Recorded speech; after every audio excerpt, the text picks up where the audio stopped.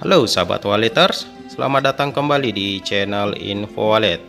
Pada video kali ini saya akan memperlihatkan kepada teman-teman bagaimana cara setting timer di e, mesin otomatis penyemprot parfum ini.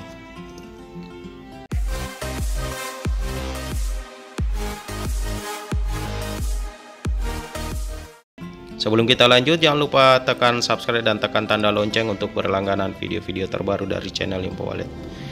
Jadi sebelum kita lanjut untuk uh, setting alat ini, maka kita memerlukan dua buah baterai sebagai power di alat ini.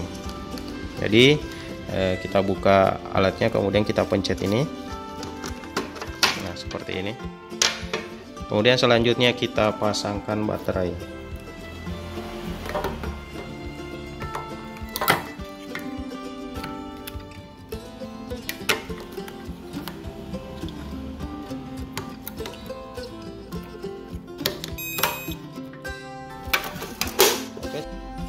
Setelah baterainya terpasang, maka kita tekan eh, di sini ada tulisan on off.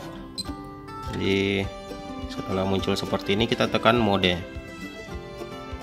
Kita tekan lama sampai berkedip-kedip. Jadi misalnya alat ini kita mau eh, start pukul 8.00 terus eh, matinya jam 9.00 nah kemudian kita tekan mode lagi.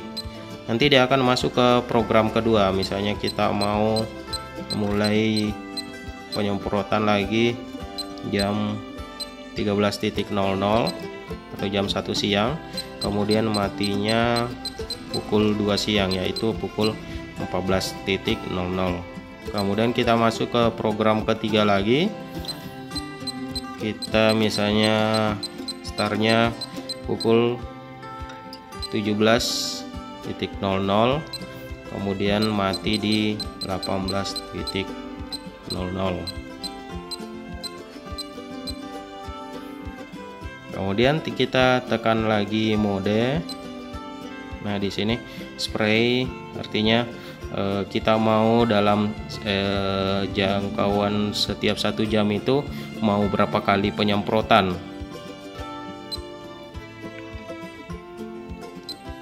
Jadi misalnya kita mau intervalnya dalam satu jam itu dua kali penyemprotan berarti tiga eh, 30 menit per eh, jam. Jadi nanti dia akan eh, menyemprot dua kali dalam waktu satu jam. Kan dalam satu jam itu 60 menit jadi dia akan menyemprot dua kali dalam waktu satu jam. Nah, seperti ini. Kemudian kita tekan lagi mode. Nah ini clock artinya jam sekarang. Di sini jam eh, 19.00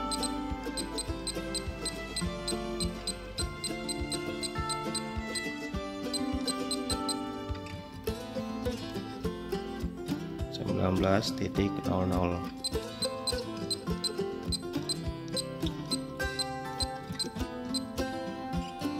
kemudian kita tekan lagi mode. Sudah di sini. Ini sudah tersimpan. Apabila kita mau tes ini ada tulisan spray di sini. Teman-teman bisa pencet untuk mengetes mekaniknya. Ini turun. Berarti mekaniknya berfungsi dengan baik. Oke setelah itu kita masukkan ulang ke tempatnya.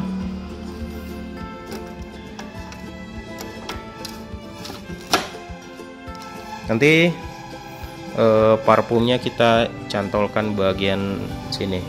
Kemudian kita tutup. Kemudian kita simpan di dalam gedung wallet milik kita untuk masalah ketahanan baterai teman-teman bisa e, mengecek apakah baterainya masih bagus dalam waktu setiap bulannya. Sebenarnya penggunaan baterainya itu tergantung dari frekuensi berapa kali kita setting untuk e, penyemprotan di dalam gedung itu. Misalnya seperti tadi e, mulainya jam 8 mati jam 9 dia akan menyemprot selama dua kali dalam waktu satu jam itu. Jadi dia per hari dia menyemprot sebanyak enam kali. Karena jika terlalu sering dia menyemprot nanti parfum walet teman-teman cepat habis. Sedangkan parfum walet yang seperti ini hanya beberapa kali disemprot saja maka baunya sudah tahan lama. Oke teman-teman sekian uh, dari saya bagaimana cara setting uh, spray seperti ini. Semoga bermanfaat. Jika ada pertanyaan seputar budidaya walet maka silakan teman-teman tulis pertanyaannya di kolom komentar video ini